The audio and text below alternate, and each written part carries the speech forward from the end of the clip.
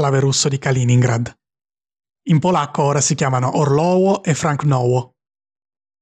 Tra questi due villaggi, parte delle forze tedesche erano riuscite a preparare una linea difensiva improvvisata, con delle trincee e delle postazioni di mitragliatrici.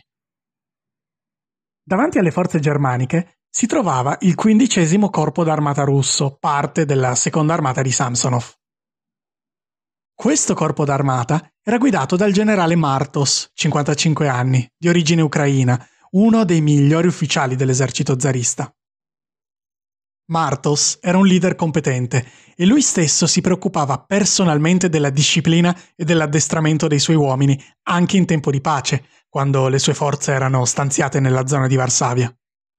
Considerando quanto abbiamo visto nell'episodio speciale sulla Russia, questo tipo di approccio da parte di un ufficiale dell'esercito zarista era veramente una rarità.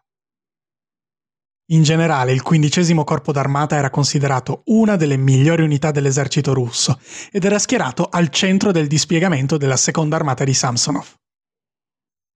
Vedendo che von Schulz non faceva altro che ritirarsi, di sua iniziativa Martos decise di mettere ancora più pressione sui tedeschi, sottoponendo le forze di Samsonov al loro battesimo del fuoco nella battaglia di Orlau-Frankenau. Nella notte tra il 23 e il 24 agosto, Approfittando del buio, i fanti russi si avvicinarono alle linee tedesche cercando di fare meno rumore possibile. I tedeschi non si accorsero di nulla e i russi, in completo silenzio, trascorsero l'intera nottata distesi per terra, nei boschi, dietro i cespugli o fra l'erba alta, ad appena 600 metri di distanza dalle trincee germaniche. All'alba, il generale Martos ordinò ai suoi di attaccare e di impadronirsi delle trincee nemiche.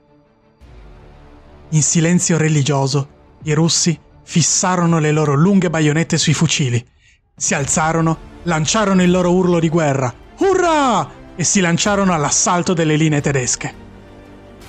Le forze di von Schulz furono prese alla sprovvista. I russi coprirono di corsa gli ultimi 600 metri in maniera coraggiosissima. Appena le forze germaniche cercavano di rispondere al fuoco, gli uomini dello zar si buttavano a terra, per poi rialzarsi in un secondo momento, fare un altro scatto e buttarsi a terra di nuovo. In soli tre scatti, i fanti russi furono addosso ai tedeschi, che vedendosi arrivare sopra i nemici di corsa, con le baionette spianate e le bandiere al vento, fuggirono in preda al panico, abbandonando mitragliatrici e cannoni. Quelli che non riuscirono a fuggire dalle trincee si arresero e vennero catturati. Negli altri settori della battaglia di Orlau-Frankenau, i tedeschi tennero meglio la linea, infliggendo gravi perdite agli altri corpi d'armata russi che, sulla scia dell'attacco di Martos, decisero di avanzare. Nonostante ciò, le forze di von Scholz furono costrette ad arretrare nuovamente, dalla superiorità numerica e dal coraggio indomito dei russi.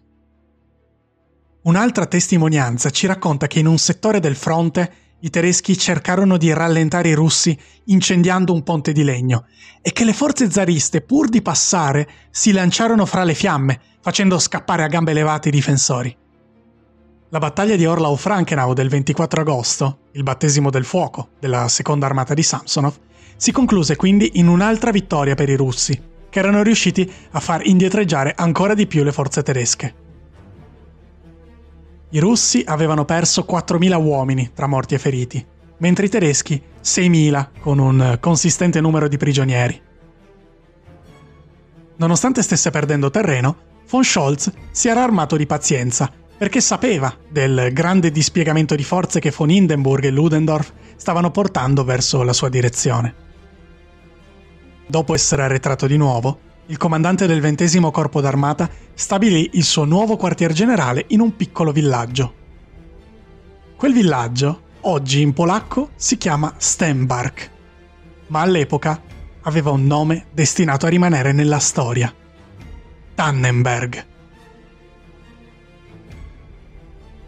Grazie mille per l'ascolto, ci risentiamo al prossimo episodio.